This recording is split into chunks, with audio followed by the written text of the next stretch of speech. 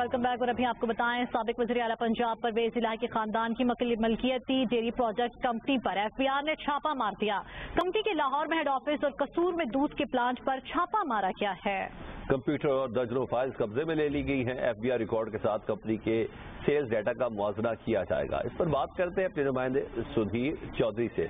जी सुधीर ये अचानक से आ, मामला क्या दूध में कोई मिलावट थी या कहीं और मामला खराब था? ये दूध में मिलावट नहीं थी, ये वज़ीर पंजाब के खानदान की एक दूध बनाने वाली कंपनी थी, जिस पर छापा मारकर वहाँ पर तमाम कंप्यूटर और रिकॉर्ड जो है वो एफबीआर की टीम ने अपने कब्जे में ले लिया है।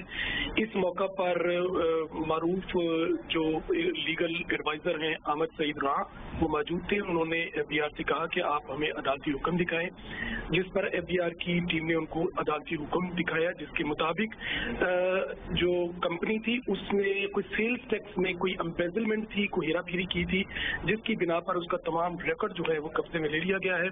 इस हवाले से एफबीआर की टीम का कहना था कि इस ऑर्डर को आप चेक करवा लें। अगर ये ऑर्डर ठीक ना हुए तो आप हम पर एफआईआर भी दर्ज करवा सकते हैं। उनका ये भी कहना था कि हम बड़ी देर से इस कंपनी की जो प्रोडक्ट है उनकी सेल्स को मॉनिटर कर रहे थे और बिलाकर हमने पूरे रिकॉर्ड के साथ जो है वो अच्छा, अच्छा, अच्छा फैक्ट्री तो सील नहीं की गई अभी?